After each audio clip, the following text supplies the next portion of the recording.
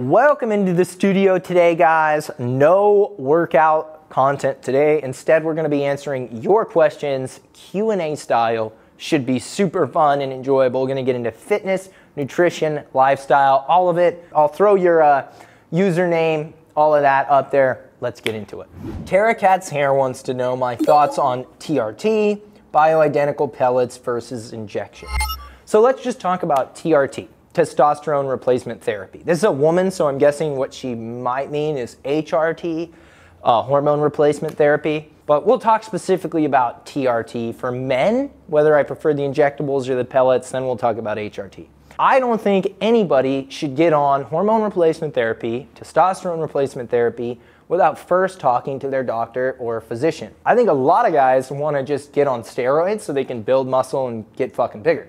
I don't think there's anything wrong with their testosterone. In fact, I think a lot of guys desperately want to have low lab values so they can just start cruising on high levels of test and look better. And then they say that they needed medical TRT, but the thing is, they fucking just wanted to take low dose anabolic steroids and look bigger, which is your prerogative. You can do whatever the hell you want with your body. Whether or not you should get on hormone replacement therapy is very different from the question of do I want to take advantage of the medical fast tracking that's happened in the last few years to take performance enhancing drugs? And if you want to do that, that's on you. But if you want to manage your hormones using hormone replacement therapy, that's between you and a physician. And I do generally think that adding hormone replacement for both men and women instead of being hypogonadal and having no like sex hormones present is going to be a lot better than just trying to raw dog life with no hormones. However, don't get it twisted. A lot of the people who are saying they're doing medically indicated TRT are just dudes taking steroids who want an excuse for it. If you are not looking to have the anabolic effect, the performance effect from HRT or TRT, you need to be more considerate about why you're doing it and what you're doing it for.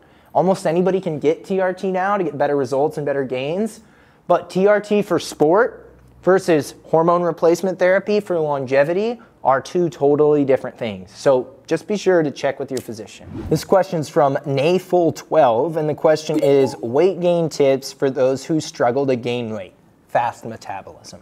I like the, to kind of flip this on its head. Typically, the habits and behaviors I would want to not engage with if I wanted to lose weight are some of the best habits and behaviors to engage with if I want to gain weight. For a client who's cutting, I would recommend avoiding liquid calories, eating higher satiety foods that are lower in fat, lower in added sugars. If a client wanted to gain weight, I would recommend more liquid calories and more foods that have added fats and sugar.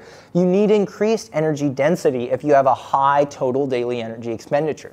Take myself, for example. I'm shorter than the average guy at 5'8, but I move way more than the average guy. So my total daily energy expenditure is pretty high. So to maintain my weight, I need to eat quite a bit of calories. And if I try to do that only from clean foods or whole foods or single ingredient foods, I'm gonna come up short. But if I include things like smoothies, which are blended up and easier to drink, or peanut butter and jelly sandwiches, which are hyper palatable and very energy dense, I have a shot. So to gain weight, if you have a hard time eating enough calories, you need to make sure to take advantage of energy dense foods that tend to be higher in fat and higher in calories, and liquid calories can actually be your friend. Miss Madison Scott asks difference between BCAAs and regular amino acids. So this is a good question. There's 20 amino acids in, that, that we will find in nature.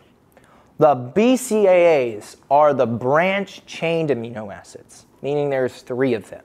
And the reason they're called branch chained is actually super simple. It's because of their shape. They simply have a branch on them. The way they're shaped, there's like a genuine discrepancy. Leucine, isoleucine, and valine, the BCAAs, are shaped gently different from the other 17 amino acids. It's also the case that those amino acids are essential, meaning we have to get them from food. Many amino acids are non-essential. We make enough of them in our own body that we don't need to worry about getting them from food. But the BCAA specifically must be gotten from food and they tend to be found in foods that are high in protein. Leucine, the chief BCAA responsible for muscle growth, we find this in red meat and dairy. But a big reason why I don't recommend supplementing with additional BCAAs if you already have a high protein diet is because many of the best sources of dietary protein, whether it's chicken, fish, eggs, dairy, even plant proteins, they often contribute quite a bit of BCAAs in the protein. Like this protein powder, I have a scoop, boom, there's 20 grams of protein. Well, it turns out that of that 20 grams, five of the gram weight is coming just from three amino acids leucine, isoleucine, and valine, which is awesome. If you eat a high protein diet, particularly high in meat and dairy protein, I wouldn't recommend supplementing with additional BCAAs, even though they are unique and pretty important. Okay, this one comes from Fitness by Anna B. And the question is I usually do three leg days a week for booty gains. Will switching to two days a week make me lose progress? This is a good question. I think the answer, of course, is going to be it depends. However, let's say across these three leg days, you do 10 sets each 10 sets Monday, 10 sets Wednesday, 10 sets Friday. I would argue that you'd be better off doing 15 sets on Monday and like 15 sets on Thursday and just training legs twice than training three sessions. The reason for this is because leg training tends to be really challenging and hard. And if you want to know about how important hard training is, check out some of the videos on the channel, specifically the one about newbie mistakes, because a lot of novice lifters, many of whom are chasing booty gains, are doing too much volume, too frequently, without enough intensity. And I would say that two workouts a week is plenty to build your glutes, and three could be better, but only if all three sessions are meaningfully challenging and all the work that you're doing is difficult. I used to train legs three times a week, but what I found was I'm better off training legs twice and doing a little more volume. Another approach that might work is doing two hard, complete leg days that train the quadriceps, hamstrings, and glutes and then having a third session available to you where you do some lower intensity, kind of penalty free glute work. This could be things like abductions, band work, or lower intensity work. I do this a lot in our online female bodybuilding program, Elite Physique. There's three leg days, but only two of them are really hard. And the third leg day is really just a total body day with some legs. Three full leg days might be a lot, and I'd probably actually recommend going to two for better gains. All right, this one's from Matt underscore or Matt C underscore two one five. Matt wants to know the best way to keep off stomach fat in a bulking phase. So, the best thing to do is to go uh, back in time and pick parents, both of whom have genetics for very low body fat accumulation in the midsection. Fortunately, I have parents like that. Neither one of my parents has had a ton of visceral fat accumulation in their life. And many of us don't choose the geography of where our body fat gets packed away. And unfortunately, let's say you're a woman and all of your body fat accumulates in your center abdomen instead of like the typical areas like hips, breasts, uh, thighs. That'd be kind of a bummer. But for a man, and that's a male asking the question, you should expect a decent amount of additional body fat to accumulate in the midsection. It's pretty common for most men. I'm a genetic anomaly in that for some reason a lot of my surplus body fat gets stored in my triceps and my glutes, but even at higher body fat levels, I have abs because I don't store a ton of body fat in my midsection. But most of you will, especially if you're guys. So you have to just be okay with it. The second tip I have is to don't bulk like an idiot if you bulk in a surplus of 100 to like 300 calories, it might be really slow progress, but you'll have a lot less body fat gain than somebody who bulks at like a thousand surplus calories a day. And I think you could make the argument that if you already know you store a lot of belly fat, it's better to only have a surplus of two to 300 instead of a thousand because where do you think the surplus calories are going to be, you know, essentially stored? they're probably going to be stored in the adipocytes or fat cells in your midsection. So those are the two main things you can do. You know, address the realistic potential you have with your genetics and try not to overeat. Another thing you can do is try to limit stress and alcohol consumption. Those two things do seem to increase the amount of body fat we store in the kind of visceral, kind of in between the organs, the abdomen area. Um, but the best thing you have access to is a surplus that is not excessive. So I'm gonna say a 100 to 300 calorie surplus, get some sleep, minimize stress, do not drink alcohol, and that'll give you the best chance. But there's still no guarantee you won't have some body fat on your midsection because that's just how this works. Okay, D Gomez underscore asks, explain deficit. So what I'm gonna do right now is as simply as possible, try to explain what a calorie deficit is uh, without overdoing it. So a calorie deficit is simply this. I'll use myself as an example. To maintain my body weight, let's say I need to eat 2,500 calories. If I eat 2,600, that's 100 calories more than I need. If I eat 2,400, that's 100 calories less than I need.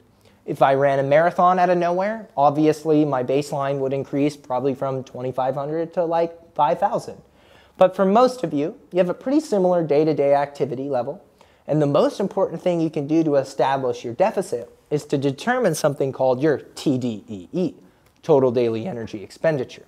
That is the number I just told you for me is about 2,500. That's my baseline. That's my total calorie intake required to maintain my weight. If I go 200 calories below 2,500, below my baseline, 2,300 versus 2,500 is a difference of minus 200. If I go 200 calories above my baseline, the difference is plus 200, right? If I go from 25 to 27. A calorie deficit is any number beneath your TDEE. If you consume 2,000 calories on a budget, shall we say, of 2,500, that's a 500 calorie deficit. If you consume 1,000 calories on a 2,500 calorie budget, that's a 1,000 or 1,500, I should say, calorie deficit. Many people make this super simple mistake though. On Monday, they're in a 500 calorie deficit. On Tuesday, they're in a 500 calorie deficit.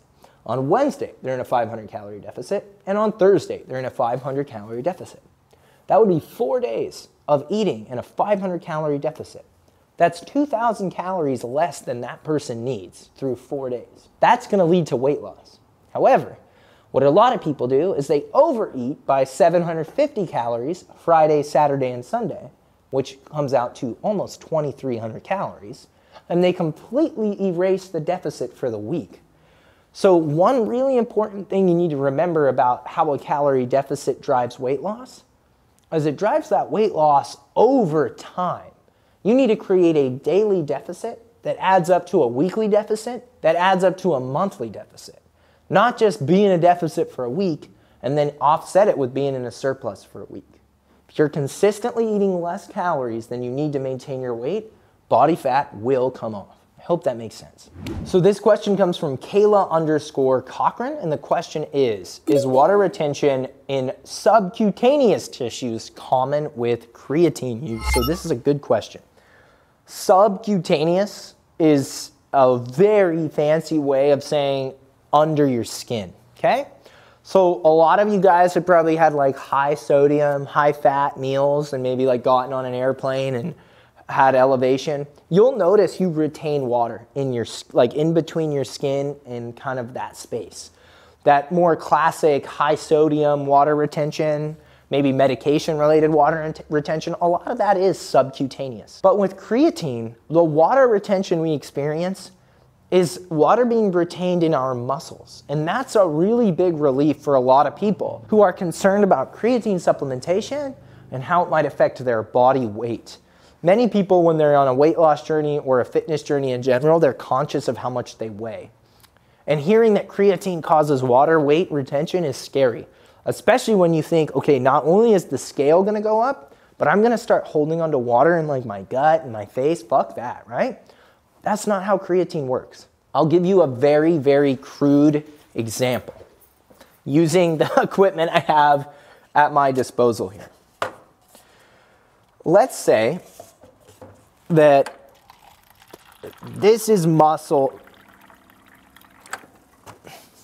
and this is water outside your muscle. When you start taking creatine, okay, this is the muscle, maybe you don't have a lot of opportunity to hold water inside that tissue. It's only so much. Creatine comes around, and creatine actually helps you hold more water in that muscle than normal over time. Over time. That muscle will be able to better control movement, better contract, better perform because of the creatine and the water in it. There is none of the water, or none of that water is going outside of the muscle. Creatine is pulling it into the muscle, not intentionally because it's a molecule, it doesn't have intention, but it does that mechanistically.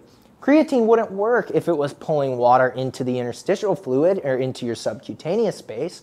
It works specifically because it takes water from outside of the muscle and pulls it into the muscle. So try not to sweat that subcutaneous water retention. A lot of that is driven by other things, creatine not being one of them. Thanks for stopping by folks for a little Q&A. We'll do more of these in the future. Just be sure to subscribe to the YouTube channel leave comments, ask your questions here. This would actually be an amazing place to field unique questions. Me and my videographer were laughing a little bit about some of the questions that we fielded for this video because frankly, not all of them were great, but I'd love to answer your questions, subscriber questions from right here on the channel. So leave them in the uh, comment section below, thumbs up the video, hit the notification bell, and I'll see you on the next one.